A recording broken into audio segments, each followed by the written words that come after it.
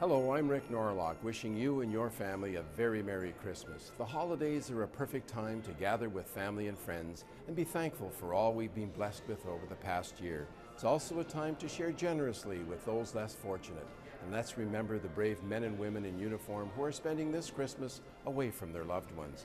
On behalf of your government and from my family to yours, I wish you peace and joy this holiday season and all the best in the new year.